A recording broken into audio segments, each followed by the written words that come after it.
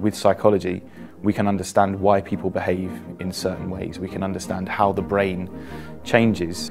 And it's this interaction between brain and behaviour that only we can understand through studying something like psychology.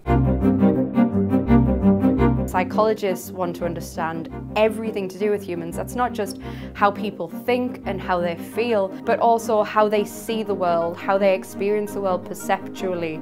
We teach topics from an integrated perspective. So if you take something like emotion, for instance, emotion can't be broken down into just social input or just biological input.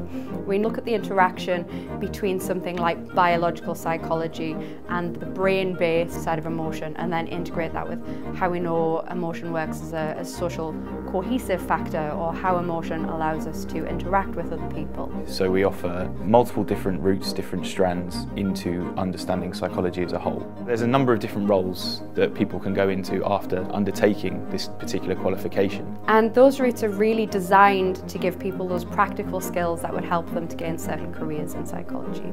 I've always been interested in the brain and how it works and mental health and things like that. I've found it really interesting about the different developmental problems that you can have and the myths about them as well.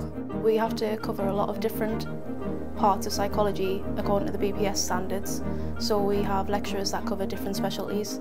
I've got along with all of my lecturers so far and I've found that the quality of teaching is really, really, really good and the extra support as well. You could go into teaching, you could undertake a number of different things. There's also the option for further study. We offer master's courses, particular MScs in experimental research. Going and seeking out a career in psychology is fantastic and learning how to really integrate that information into a full understanding. I think a, a passion for learning and a motivation to engage with learning on a, on a really deep level is important for a student.